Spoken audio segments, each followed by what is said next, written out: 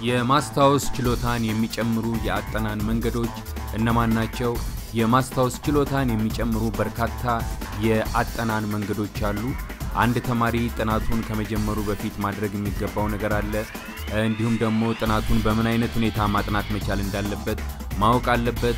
ከዛ በኋላ ደግሞ ጥናቱን ካጠናቀቀ በኋላ ደግሞ አንዳንድ ማከናወን የሚገባው ነገሮች አሉ። እነዚህን ስቴፖች በትክክል ማከናወን የሚችል ማንኛውም ሰው የማስታወስ ችሎታውን እያሳደገ ከአንድ ደረጃ ወደ ሌላ ደረጃ የማስታወስ ክህሎቱ እያደገ ስለሚመጣ በቀላሉ አጥንቶ ነገሮችን ማስታወስና በፈተናም ሆነ በተለያዩ interview ዎች ላይ ውጤታማ መሆን ይችላል ማለት ነው። ስለዚህ ይህንን ጥያቄ የጠየቃችሁኝ በርካታ ልጆች አላችሁ። I think ይሄ ቪዲዮ ጥሩ የሆነ ምላሽ ይዞላችሁ ይቀርባል ብዬ ተስፋ አደርጋለሁ። በደንብ ትኩረት ሰጥታችሁ እንድትከታተሉ ይሁን ማለት ነው። የማስታወስ ችሎታ በየጊዜው እየተኮተኮተ የሚያድግ ከአንድ ደረጃ ወደ ሌላ ደረጃ እየጎመራ የሚመጣ ነገር ነው። ማስታወስ ባንዴ ነገሮችን ሙሉ ለሙሉ ማስታወስ የማንችል ሰዎች ስለሆንን ቀስ በቀስ ግን ችሎታ እያደገ ቀስ በቀስ ግን እየተሻሻለ የሚመጣ ነገር ነው። የሚሻሻለውና የሚያድገው ግን ሁል ጊዜ ለማሻሻልና ለማሳደግ ቆርጦ የተነሳ ሰው ሲሆን ወይም ደግሞ ሲኖር ብቻ ነው። ስለዚህ የማስታወስ ችሎታን የሚጨምሩ የአጠናን መንገዶች እነማን ናቸው? በመጀመሪያ ደረጃ ላይ የተቀመጠው የማስታወስ ችሎታን ለመጨመር የሚያስችል አንድ ቴክኒክ አለ። ይሄ ቴክኒክ ምንድን ነው? meditation የሚባል ቴክኒክ ነው። ይሄ ቴክኒክ ብዙዎቻችሁ በተለያየ አጋጣሚ በተለያየ ወቅት በተለያየ ሚዲያዎች ላይ ስለ meditation ሰምታችኋል። meditation አስፈላጊ የሆነ ነገር እንደሆነ ታውቃላችሁ። ምክንያቱም meditation አእምሮን የመግራት ጥበብ ስለሆነ አእምሮ ደግሞ ካልተገራ በተለያየ አካባቢ በተለያየ አቅጣጫ ስለሚበታተን እያጠናን እያለ ወደ ተለያየ ቦታ ሀሳባችን ስለሚከንፍ ወደ ተለያየ ቦታ ሀሳባችን ስለሚሄድ ማንበብና ማጥናት የምንፈልገው ነገር ላይ አእምሯችን ትኩረት ስለማያደርግ በትክክል የምናነበው ነገር የምናጠናው ነገር አይገባንም። አንደኛ። ሁለተኛ ነገር ደግሞ ካነበብነውና ካጠናነው በኋላ ማስታወስ አንችልም። ስለዚህ meditation ለጥናትና ለንባብ ብቻ ሳይሆን አእምሮን ለማዝናናት እንዲሁም የውስጥ ውስጣዊ የሆነ የአእምሮ ኃይልን ለማንቃት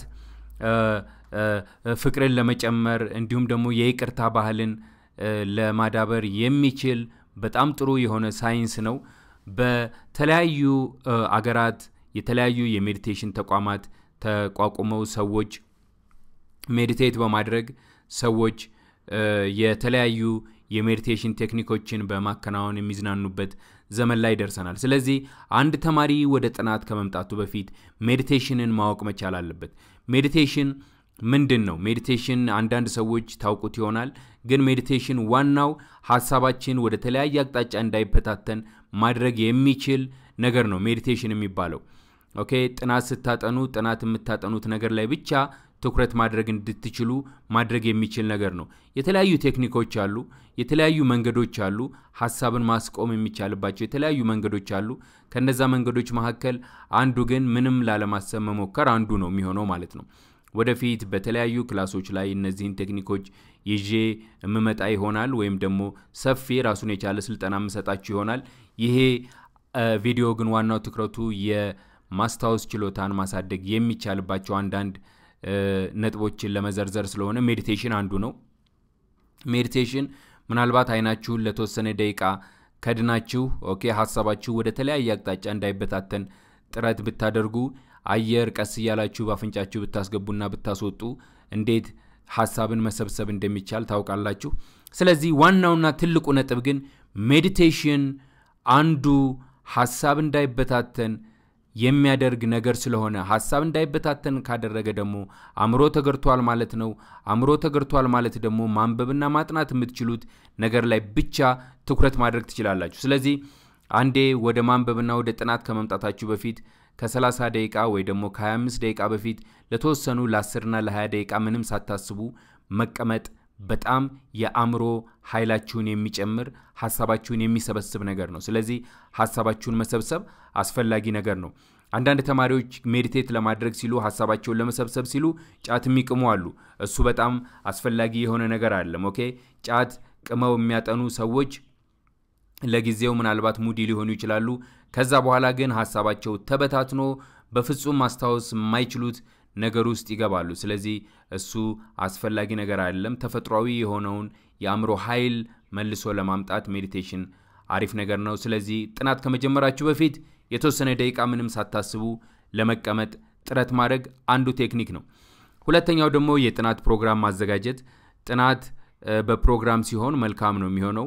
በሳምንቱ ውስጥ ማጥናት የምትፈልጉበትን ቀንና ማጥናት የምትፈልጉበትን ሰዓት በትክክል በፕሮግራም ካዘጋጃችሁ በኋላ okay፣ በዛ ፕሮግራም መሰረት ጥናትን ለማካሄድ ጥረት ማድረግ አስፈላጊ ነው። ውጤታማም ያደርጋል። ሳታስቡት ጊዜው እልም ስለሚል አንዳንዴ የዛን ጊዜ ፈተና ላይ ስለምትደርሱ እንደዛ እንዳይሆን ጊዜው ሳይሄድ ከስር ከስሩ ማጥናት እንዲቻል ፕሮግራም ማዘጋጀት አንዱ ነው። ሌላው ደግሞ የምናጠናበትን ቦታ መምረጥ።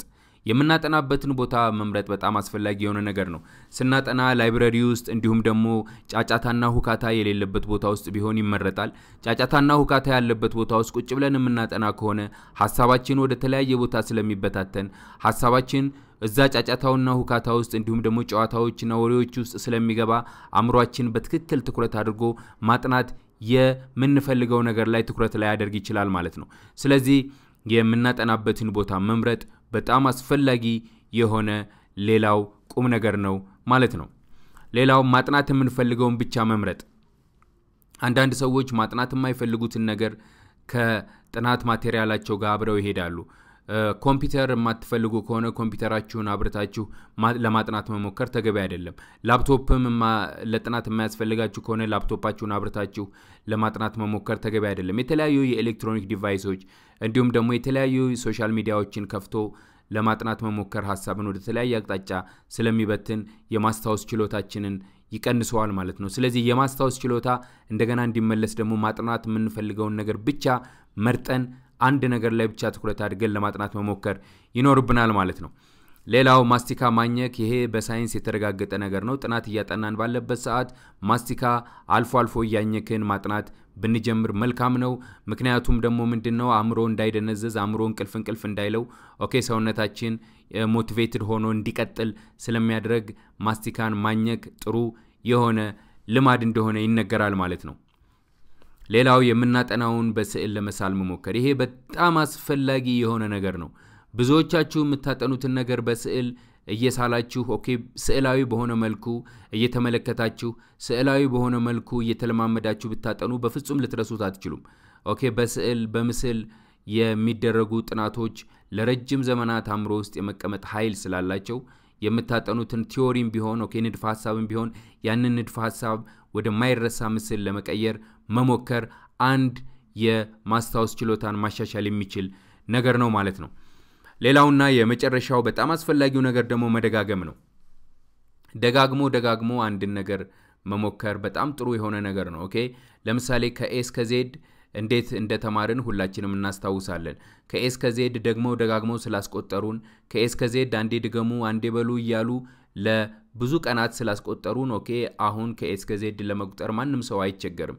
ልክ በዛ አይነት መልኩ አንድ ሰው ከ A እስከ Z ነገሮችን ደጋግሞ ደግሞ ደጋግሞ ለማጥናት ቆርጦ ከተነሳ ቆርጦ አሁንም ማጥናት ይችላል። ስለዚህ መደጋገም ወይም ደግሞ repetition በጣም አስፈላጊ የሆነ የባህሪ ክፍል መሆን መቻል አለበት። okay መሰልቸት ተገቢ አይደለም። አንዴ አጠናነው ከዛ በኋላ ካላስታወስነው ደግሞ ለሁለተኛ ጊዜ ደግመን በማጥናት ለሁለተኛ ለሶስተኛ ጊዜ ደግሞ ደግመን በማጥናት ለአራተኛ ጊዜ ደግሞ ደግመን በማጥናት በጣም የማስታወስ ችሎታችንን ማስነሳት እንችላለን። okay so መደጋገም በጣም አስፈላጊው የሆነው ነገር ነው ማለት ነው። okay so ይሄ በምናጠናበት ሰዓት የግድ አስፈላጊ ስለሆነ፣ ሌላው ግን ያጠናነውን ነገር መጻፍ። okay ያጠናነውን ነገር ከጨረስን በኋላ አንድ ገጽ ካነበባችሁ በኋላ አንድ ገጽ ካጠናችሁ በኋላ እስክሪብቶና ወረቀት አዘጋጅታችሁ okay ያንን ያጠናችሁትን ነገር ካጠገባችሁ ዞር አድርጋችሁ ምንድን ነው ያጠናሁት ነገር አእምሮ ውስጥ ያስቀመጥኩት ነገር ምንድን ነው ብላችሁ በእስክሪብቶና በወረቀት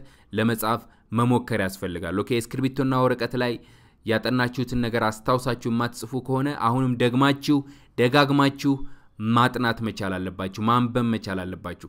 ደግሞ ደጋግሞ ያነበበና ያጠና ሰው ከዛ በኋላ ያስታውሰውን ነገር እስክሪብቶና ወረቀት ይዞ ወረቀት ላይ መጻፍ ስለሚችል በትክክል ማስታወስ ይችላል ማለት ነው። ስለዚህ እነዚህ የአጠናን መንገዶች፣ እነዚህ ቴክኒኮች የማስታወስ ችሎታን በትክክል የሚያሻሽሉ መንገዶች ናቸው። ሌላ በጣም በርካታ መንገዶች አሉ። በርካታ ሳይንሳዊ የሆኑ መንገዶች አሉ። meditation ግን እጅግ በጣም ወሳኝ ነው። መደጋገምም ወሳኝ ነው። የምታጠኑትን ነገር በምስል ለማየትና ወደ ምስል መቀየርም በጣም አስፈላጊ የሆነ ነገር ነው። ፕሮግራምን ማዘጋጀት አስፈላጊ የሆነ ነገር ነው። I think ይሄ ቪዲዮ የብዙዎቻችሁን ጥያቄ ይመልሳል ብዬ ተስፋ አድርጋለሁ። ቪዲዮውን ከወደዳችሁት like ና share አድርጉት። በሌላ ትምህርታዊ በሆኑ ቪዲዮዎች እስከማገኛችሁ ድረስ አብሬ የቆየሁት የእናንተው አብርሃም ከኤኬ ነኝ። በጣም ወዳችኋለሁ። መልካም የጥናት ጊዜ ይሁንላችሁ። መልካም ቀን። ቻው